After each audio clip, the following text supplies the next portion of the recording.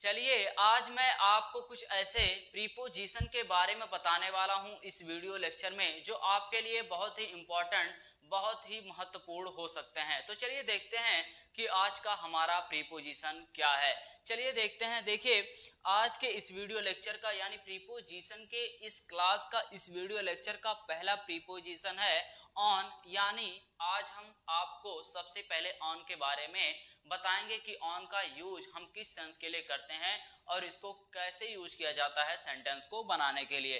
तो चलिए देखते हैं, देखिए यहाँ पे बताया गया है कि ऑन का यूज़ हम तीन जगह पे अलग अलग सेंस के लिए करते हैं। देखिए, अगर हम बात करें ऑन के पहले यूज़ पहले सेंस के बारे में तो ऑन का पहला यूज़ पहला सेंस क्या कहता है कि आप ऑन का यूज़ पर के लिए करेंगे। यानी अगर आपके सेंटेंस में पर का सेंस आएगा तो वहाँ पे आप ऑन का यूज़ करेंगे। लेकिन इसके भी कुछ केस हैं।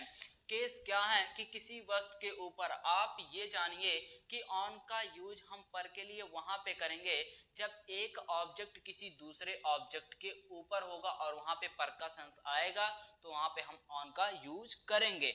लेकिन यहाँ पे एक और केस दिया है, एक और इंफॉर्मेशन दिया है यहाँ पे देखिए क्या है, जब एक वस्तु की की सतह किसी दूसरे वस्तु की सतह से क्या हो, सटा हो।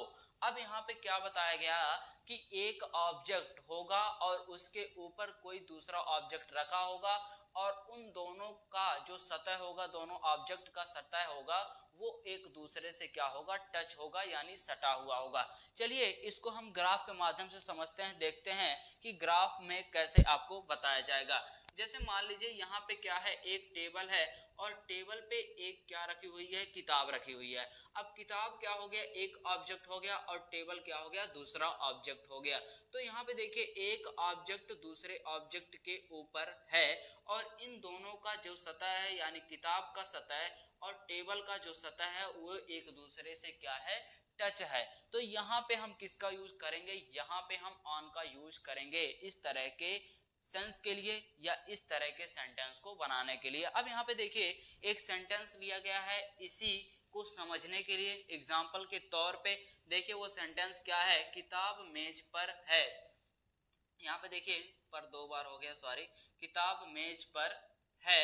तो आप किस तरह से बनाएँगे? आप लिखेंगे the book is on the table the book is on the table. यहाँ पे देखिए ऑन का यूज़ किया गया क्यों? क्योंकि यहाँ पे पर का सेंस आया था और यहाँ पे किताब कहाँ पे है? टेबल के ऊपर है, यानी ऊपर के सेंस के लिए आया था पर का सेंस इसकी वजह से यहाँ पे ऑन का यूज़ किया गया।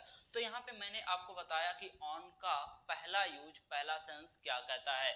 अब चलिए, हम मूव करते हैं ऑन के दूसरे यूज़ पे और दूसरे सेंस पे कि ऑन का दूसरा यूज़ या दूसरा सेंस क्या कहता है। देखिए ऑन का दूसरा यूज़ ये कहता है कि ऑन का यूज़ हम वहाँ पे करेंगे जब डेट यानी दिन और तारीख आएगा। यानी आप ये कह सकते हैं, दिन और तारीख के साथ हम किसका यूज़ करेंगे? ऑन का यूज़ करेंगे। जैसे यहाँ पे मंडे आ गया ट्यूसडे आ गया आपके सेंटेंस में तो वहाँ पे आप किसका यूज़ करेंगे? इनके पहले यानी इनके साथ किसका यूज़ किया जाएगा? ऑन का यूज़ किया जाएगा। अभी मैं आपको एग्ज़ाम्पल के माध्यम से या एग्ज़ाम्पल के थ्रू बताऊँगा। अब देखिए, अगर मान लीजिए डेट या तारीख आ रहा है तो उसके पहले भी आपको किसका यूज़ करना ऑन का यूज़ करना जैसे यहाँ पे मैंने एग्ज़ाम्पल में लिखा है टू दिसंबर 2022 अगर इस तरह से डेट आ रहा है तो वहाँ पे भी आप किसका यूज़ करेंगे? ऑन का यूज़ करेंगे। जैसे यहाँ पे देखिए एक सेंटेंस है, अरुण सोमवार को आएगा। अब यहाँ पे देखिए सेंटेंस कैसे बनेगा? अरुण विल कम उसके बाद यहाँ पे देखिए सोमवार को। तो सोमवार मैंने आपको क्या कहा, दिन के पहले आप किसका यूज़ करेंगे? ऑन का यूज़ करेंगे। अब सोमवार क्या है? दिन है। तो आप क्या करेंगे? ऑन मंडे ऑन मंडे इस तरह से आप सेंटेंस को बनाएँगे। जब आपके सेंटेंस में दिन आएगा, जैसे सोमवार, मंगलवार, बुधवार तो आप उससे पहले क्या करेंगे? ऑन का यूज़ कर देंगे। नेक्स्ट क्या है? मेरा दोस्त 2 जनवरी 2010 को पैदा हुआ था। अब यहाँ पे देखिए 2 जनवरी 2010 क्या है? ये 2 जनवरी 2010 ये क्या है? तारीख है। और तारीख के साथ मैंने आपको क्या कहा है? ऑन का यूज़ करने के लिए।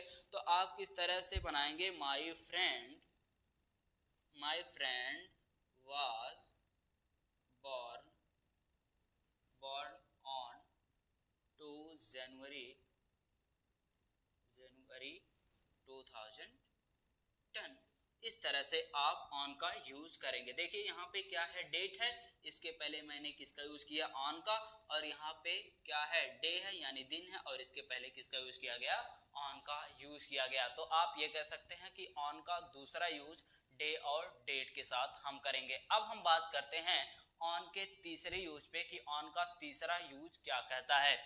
देखिए ऑन का तीसरा यूज़ क्या कहता है कि जब आप तरफ़ बताते हैं, यानी क्या बताते हैं? देखिए यहाँ पे तीसरा यूज़ तरफ़ बताते हैं, तरफ़ का मतलब दिशा बताते हैं। जैसे कहते हैं राइट साइड या लेफ़्ट साइड तो वहाँ पे आप ऑन का यूज़ करेंगे। जैसे यहाँ पे देखिए लिखा गया है on the left on the right तो ये लेफ़्ट और राइट right क्या है? ये तो दिशा है ना, तरफ़ है तो साइड बताने के लिए आप ये कह सकते हैं। जैसे मान लीजिए यहाँ पे एक सेंटेंस हो आपके सामने, कि रोहन दाई तरफ़ बैठा था। रोहन दाई तरफ़ बैठा था। बैठा था। तो देखिए, दाई तरफ़ के लिए आप क्या लिखेंगे? Rohan. Rohan was sitting sitting on the on the right side right side sorry on the right side तो देखिए, यहाँ पे ऑन का यूज़ किया गया। क्यों? क्योंकि यहाँ पे हम क्या कर रहे हैं? यहाँ पे हम तरफ़ बता रहे हैं। तो तरफ़ बताने के लिए आप किसका यूज़ करेंगे?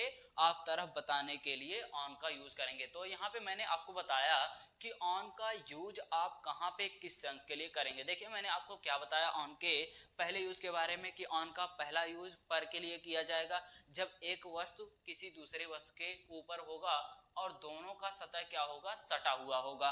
वहाँ पे आप ऑन का यूज़ करेंगे। और ऑन का दूसरा यूज़ कहाँ पे करेंगे? ऑन का दूसरा यूज़ दिन और तारीख के साथ। यानी अगर आपके सेंटेंस में जैसे यहाँ पे दिन या तारीख आएगा तो वहाँ पे आप ऑन का यूज़ करेंगे। और ऑन का तीसरा यूज़ क्या कहता है कि ऑन का तीसरा यूज़ आप जब साइड बताते हैं, जैसे राइट साइड या लेफ़्ट साइड तो वहाँ पे आप किसका यूज़ करिए? ऑन का यूज़ करिए तो ओवरऑल मैंने आपको ऑन के बारे में बताया। चलिए, अब हम मूव करते हैं अपने नेक्स्ट प्रीपोजिशन पे कि हमारा नेक्स्ट प्रीपोजिशन क्या है। तो देखिए, आज का नेक्स्ट प्रीपोजिशन है, यानी इस वीडियो का नेक्स्ट प्रीपोजिशन है विद इन यानी अब हम जानने वाले हैं विद इन के बारे में कि विद इन का यूज़ हम किस सेंस के लिए करते हैं। देखिए, बहुत लोग इसको प्रोनाउंस करते हैं विथ इन विथ थ करते हैं, लेकिन इसको थ नहीं पढ़ना है, इसको the with in within इसको कहना है। तो देखिए विद इन का यूज़ हम किस सेंस के लिए करते हैं? विद इन का यूज़ किया जाता है कि अंदर के सेंस के लिए। यानी जब के अंदर का सेंस आएगा तो आप विद इन का यूज़ करेंगे। लेकिन एक कंडीशन है, एक शर्त है। शर्त क्या है कि किसी समय के अंदर होना चाहिए। यानी ऐसा नहीं कि किसी रूम के अंदर या कार के अंदर या किसी बंद शेप या आकृति के अंदर ऐसा नहीं। समय के अंदर होना चाहिए, वहाँ समय के अंदर का सेंस आना चाहिए, तभी आप विदिन का यूज़ करेंगे के अंदर के सेंस के लिए। देखिए, अब यहाँ पे हम एग्ज़ाम्पल के माध्यम से समझते हैं। देखिए, यहाँ पे एग्ज़ाम्पल क्या है? आपको दो महीने के अंदर अंग्रेज़ी बोलना है। अब यहाँ पे देखिए क्या है कि अंदर का सेंस आया है, लेकिन समय के अंदर। दो महीना क्या है? समय है और समय के अंदर आपको क्या करना है? अंग्रेज़ी बोलना है। तो समय के अंदर का सेंस आया। ऐसा नहीं कि रूम के अंदर या किसी कार के अंदर इस तरह का सेंस नहीं आया है। दो महीने के अंदर समय के अंदर का सेंस आया है। तो यहाँ पे आप विद इन का यूज़ करेंगे तो ये सेंटेंस बनेगा you have to you have to speak English speak English within sorry within two within two months इस तरह से आप विद इन का यूज़ करेंगे इस सेंस के लिए। अब यहाँ पे देखिए, एक सेंटेंस और है, वह दस मिनट के अंदर वापस आएगा। यहाँ पे भी के अंदर का सेंस आया है, लेकिन किसके अंदर? दस मिनट के अंदर, यानी किसी समय के अंदर। तो यहाँ पे भी आप विद इन का यूज़ करेंगे तो आप ये कहेंगे he will come back he will come back within within ten minutes minutes तो यहाँ पे इस तरह से आप विद इन का यूज़ करेंगे के अंदर के सेंस के लिए। चलिए, अब हम मूव करते हैं अपने नेक्स्ट प्रीपोजिशन पे कि हमारा नेक्स्ट प्रीपोजिशन क्या है। तो देखिए नेक्स्ट प्रीपोजिशन यानी तीसरा प्रीपोजिशन आज के इस वीडियो लेक्चर का है अगो अब हम जानने वाले हैं अगो के बारे में कि अगो का यूज़ हम किस सेंस के लिए करते हैं। तो देखिए अगो का यूज़ हम पहले के सेंस के लिए करते हैं, लेकिन कब? कहाँ पे पहले का सेंस आएगा, जहाँ पे हम अगो का यूज़ करेंगे? तो देखिए यहाँ पे फैक्ट बताया गया है। फैक्ट क्या है?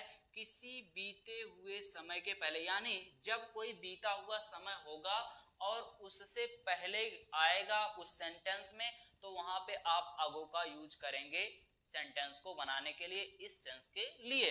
अब यहाँ पे देखिए, एक सेंटेंस दिया गया है। फॉर एन एग्ज़ाम्पल वह तीन दिन पहले आया है। अब यहाँ पे जो समय है तीन दिन पहले, वो क्या है? वो बीत गया है। अब उससे पहले कुछ काम हुआ है। तो यहाँ पे पहले का सेंस आया तो आप किस तरह से इसको बनाएँगे या इस सेंस के लिए इसको यूज़ करेंगे?